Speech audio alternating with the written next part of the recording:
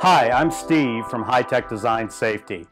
We're a third party product safety certification, verification, and design firm here to help you get your product to market. This is the beginning of our multi part series on product safety, and this first part of the series deals with semiconductor equipment.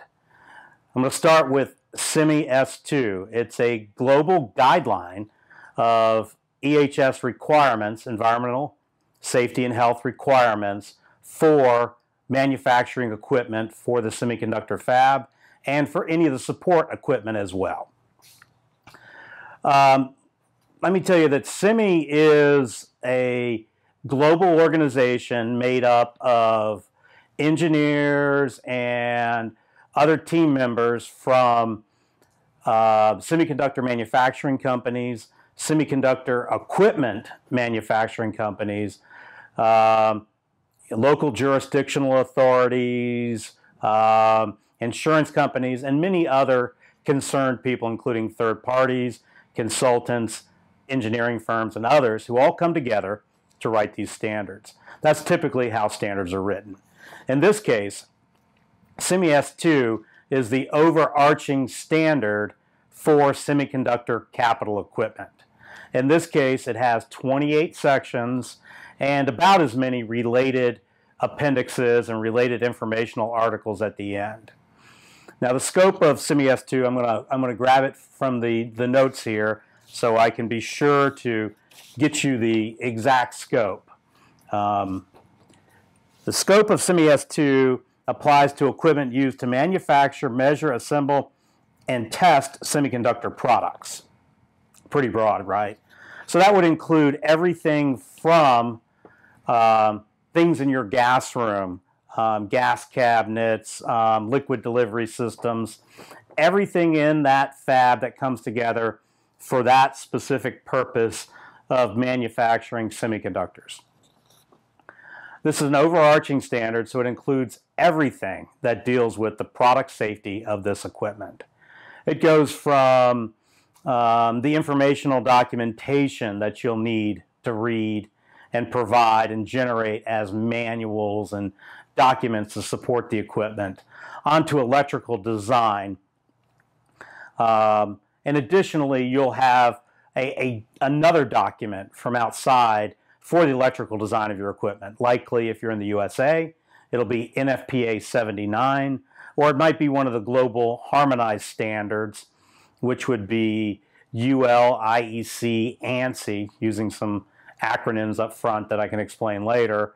It'll be uh, standard number 60204 in some cases for actual industrial equipment. It might be the 61010 standard, which deals with test and measurement equipment, your metrology equipment, um, whether it's metrology of the wafer, the air, um, the gases, or the liquids going to the wafer. Um, or it may be one other standard. Maybe it might be a 60950 standard, which deals with information technology equipment and how that enters into the process. Those would be your attendant electrical standard. And then SEMI S2 continues to go on through section by section, allowing you to verify the equipment and its design. Now, notice how I said verify there. Our goal is to help you and your teams design your equipment to the standard at the beginning. Um, it would be like, and I let me use an analogy I use a lot. It'd be like, let's say we made cookies but we didn't know what kind we were supposed to make or we didn't have a recipe. So we might make a lovely sugar cookie, but the goal was to end up with a chocolate chip cookie. You see how you would miss the mark if you'd made sugar cookies instead of chocolate chip cookies. And I know that's kind of simplistic. However, in the case of a standard like this with 28 sections, building semiconductor equipment to the standard ensures that in the end, your product will be conforming and come to market easily. In additional oncoming video segments like this, we'll talk more about each of the sections of S2, and then we'll expand to talk about the related standards.